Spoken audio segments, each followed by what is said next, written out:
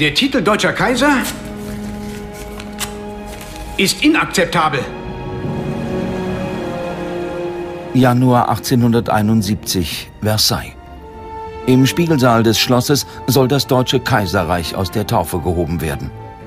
Bis zur letzten Minute gibt es keine Einigung im Titelstreit. Steht ein Eklat bevor? Wird der preußische König als deutscher Kaiser ausgerufen, wie Bismarck es will, oder als Kaiser von Deutschland, wie Wilhelm fordert?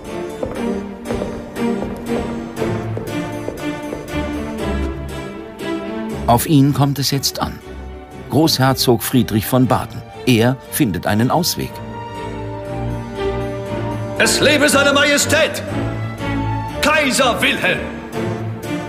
Und er wird sich später doch deutscher Kaiser nennen, wie es Bismarck wollte, der Macher der deutschen Einheit. Das entwickelte sich so, so dass man den Eindruck hatte, dass der Wilhelm I. praktisch unter, unter Bismarck regieren musste, mehr oder weniger. Aber der entwickelte natürlich eine Eigendynamik, äh, die ja sicherlich, äh, die war ja außerordentlich. Nicht? Das, ich glaube, im Vergleich zu den anderen europäischen Mächten hat also ein, ein Reichskanzler also kaum so eine äh, so überragende Rolle gespielt wie, wie, wie, wie Bismarck. Für den Reichsgründer ist das von Preußen geschaffene Deutschland saturiert. Es soll sich künftig selbst genügen. Neben den süddeutschen Staaten gehört nun auch das annektierte Elsass-Lothringen zum Reich. Bismarck spürt die Ängste vor einem übermächtigen Deutschland. Solange er regiert, will er das Erreichte sichern. Doch der aufstrebende Nationalstaat wird unter dem nächsten Hohenzollernkaiser nach mehr Macht in der Welt streben. Deutschland, sagt Wilhelm II., stünden herrliche Zeiten bevor. Das Reich erlebt ein Wirtschaftswunder. Um die Wende zum 20. Jahrhundert ist Berlin eine der modernsten Metropolen Europas, die viertgrößte Stadt der Welt. Das Tempo der Hauptstadt, heißt es schon damals, sei atemberaubend. Deutschland glänzt mit technischen und wissenschaftlichen Höchstleistungen. Made in Germany wird zum Gütesiegel. Die Kruppwerke in Essen entwickeln sich zum größten Industriegiganten der Welt und zur Waffenschmiede des Kaiserreichs. Beim Wettlauf der Großmächte um Handelsplätze möchte auch der Unternehmer Friedrich Alfred Krupp profitieren. Expansion benötigt allerdings große Mengen an Rohstoffen und neue Märkte. Keine Sorge, Krupp. Wir werden unseren Kolonialbesitz erweitern. Anders als Bismarck will Kaiser Wilhelm II., dass Deutschland Weltmacht wird und ein Kolonialreich errichtet. Doch die Deutschen sind spät dran. Die Erde ist weitgehend verteilt. 1898 beginnt Wilhelm mit dem Bau einer Flotte. Doch damit macht sich der Hohenzoller Gegner. England sieht das europäische Gleichgewicht bedroht. Unsere Zukunft liegt auf dem Wasser. Wilhelm will den Deutschen einen Platz an der Sonne verschaffen, mit Kolonien von Afrika bis in die ferne Südsee. Manche tragen Namen großer Preußen. Wie ein Alleinherrscher gebärdet sich der Kaiser, obwohl es einen Kanzler und ein Parlament gibt. Als Monarch von Gottes Gnaden sieht auch er sich. Doch wo liegen die Gründe für seinen Größenwahn? In der Kindheit? Wilhelm hat von Geburt an einen verkrüppelten Arm. Ein ärztlicher Kunstfehler. Rigorose Behandlungen mit Streckapparat und Elektrotherapie bleiben erfolglos. Die Mutter schämt sich. Die Mutter, die gab ihm praktisch die Schuld dafür, dass er dass er da als Krüppel geboren worden ist, wobei der, der konnte ja nur wirklich nichts dafür. Daraus resultiert sicherlich sein, sein übertriebenes Geltungsbedürfnis und äh, erklärt manches. Forsches militärisches Auftreten, um den Makel zu kaschieren. Man spricht von seiner Majestät Marotte, sechsmal am Tag die Uniform zu wechseln. Und das als Kaiser einer Großmacht. So jemand in einer derart exponierten Position wie, wie der deutsche Kaiser zu sein. Deutschland war das mächtigste Land Europas, hatte innerhalb von kürzester Zeit die Engländer auf dem industriellen Gebiet überholt und hatte die stärkste Armee. Wenn dann so eine Persönlichkeit an der Spitze steht mit einem derartigen Einfluss, dann wird es natürlich schon fragwürdig. Und doch sonnen sich viele Bürger im Glanz des Kaisertums, wenn auch nicht alle mitmarschieren. Die Arbeiter wollen mehr Rechte und politische Mitbestimmung. Sozialdemokraten wie Philipp Scheidemann haben sich das auf ihre Fahnen geschrieben, werben um Mitglieder für ihre Arbeiterpartei. Mit den Jahren wird die SPD zur stärksten Kraft im Reichstag. Um die Kolonial- und Rüstungspolitik entbrennt ein heftiger Streit. Im Parlament wettert der Abgeordnete Scheidemann gegen die kaiserliche Außenpolitik. Ich sage Schluss mit dieser Politik der gesträubten Schnurrbartspitzen.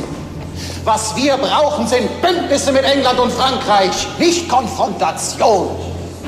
Doch längst stehen die Zeichen auf Sturm. Wien im Juni 1914. Ein Attentat erschüttert den Vielvölkerstaat der Habsburger.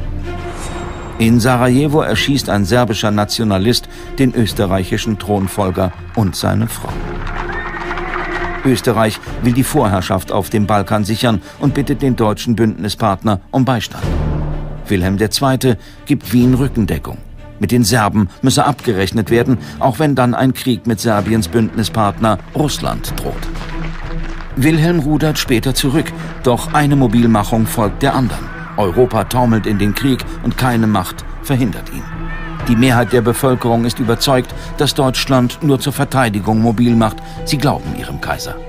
Der ist von den Militärs getrieben. Für sie ist der Angriff die beste Verteidigung. Sicherlich kann man ihm alleine diese Schuld am Ersten Weltkrieg nicht zuschieben. Die Deutschen wollen den anderen zuvorkommen und greifen an. Der Kaiser hat den Oberbefehl.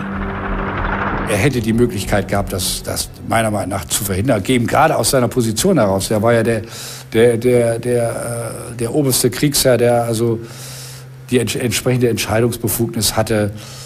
Und vor dieser Aufgabe ist er, ist er meiner Meinung nach gescheitert. Nicht? Das ist, muss man leider so sagen. Der Kontinent stürzt in den ersten Vernichtungskrieg der Moderne. Die Urkatastrophe des 20. Jahrhunderts. Technischer Fortschritt führt hier zu einem Massensterben. Nach wenigen Wochen schon stockt die deutsche Offensive im Westen. Ein zermürbender Stellungskampf setzt ein. Vier Jahre dauert der Erste Weltkrieg. Fast zehn Millionen Soldaten sterben. Doch Kaiser Wilhelm will nicht wahrhaben, dass auch seine Herrschaft bedroht ist.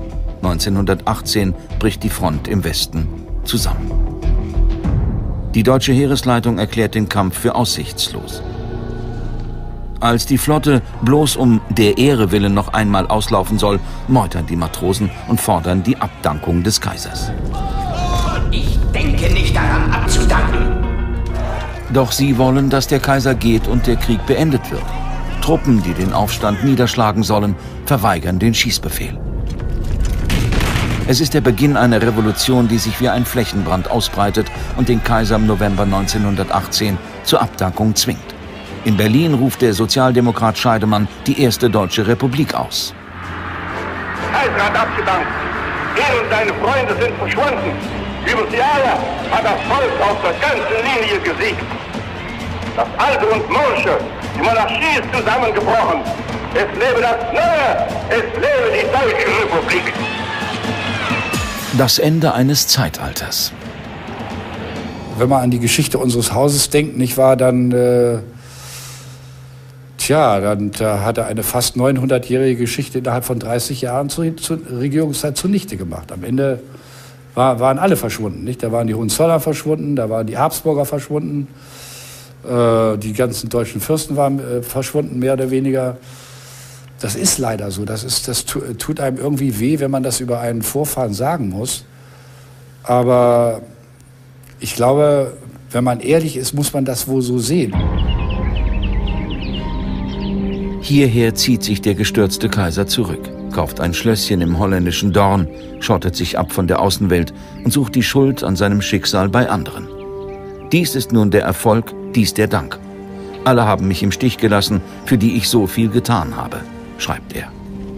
Die Sieger wollen Wilhelm als Kriegsverbrecher vor Gericht stellen, doch die holländische Regierung lehnt die Auslieferung ab. Der Hohenzoller weigert sich, das Ende seines Kaisertums zu akzeptieren, auch nach Jahren noch. Abendliche Gespräche in den Räumen seines kleinen Schlosses drehen sich immer wieder um das eine Thema. Wie komme ich, Wilhelm II., wieder zurück auf den Thron und mit wessen Hilfe? Der Kaiser, der, der wiegte sich in dieser Illusion, dass er dann irgendwann mal in seiner ursprünglichen, in seine ursprüngliche Position zurückkehren könnte. Und da, da die Nazis ja nun praktisch auf dem Vormarsch waren, hatte das, glaube ich, begierig ergriffen wie, äh, und, und äh, glaubte, er könnte da äh, könnte die benutzen, um dann selber wieder äh, praktisch in, äh, so, äh, auf den Thron zu kommen. Aber das war natürlich eine totale Fehleinschätzung. Die Nazis denken nicht daran, Wilhelm wieder auf den Thron zu heben. Hitler ist seit Ende Januar 1933 an der Macht. Nur Wochen später bekundet er beim sogenannten Tag von Potsdam die Verbindung zum Preußentum auf seine Art. Reichspräsident von Hindenburg repräsentiert an diesem Tag das alte Preußen. Selbst Kritiker sind geblendet, als Hitler über der Gruft Friedrichs des Großen die Allianz NS-Deutschlands mit der preußischen Tradition beschwört.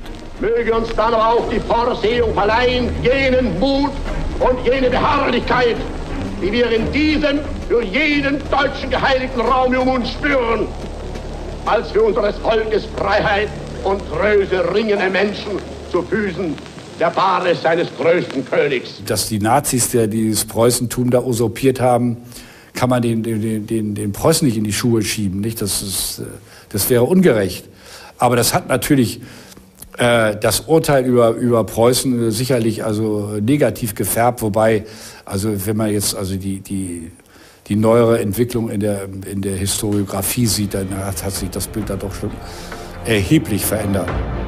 Wilhelm II. starb 1941.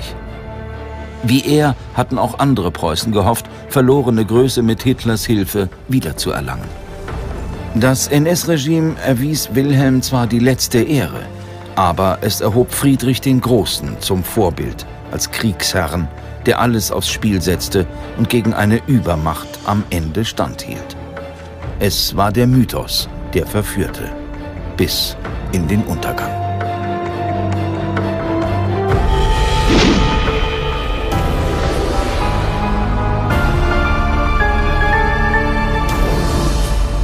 Man fragt sich, was der alte Fritz zu all dem selber sagen würde. Zu dem Mann aus Österreich vor allem, der sich seines Vorbildes bediente. Hitler nutzte hemmungslos den Nimbus Friedrichs für den Machterhalt. Und sein Regime nahm sogenannte Tugenden aus Preußen völlig für sich ein. Allzu viele Deutsche, nicht nur Preußen, ließen es geschehen. Pflichterfüllung, Disziplin, Gehorsam, Treue, Dienst am Staat, am Ende pervertierte alles. Aber schließlich waren es auch preußische Eliten, die sich nicht zuletzt auf solche Tugenden beriefen und am Ende keinen anderen Weg mehr sahen, als Hitler zu beseitigen. Wenn auch vergeblich, um den Preis des eigenen Lebens. Dresko, Jörg von Wartenburg, Schwerin von Schwanenfeld und viele andere. Das sind Namen, die uns ein Vermächtnis Preußens geben, das wir ehren können bleiben Sie uns treu.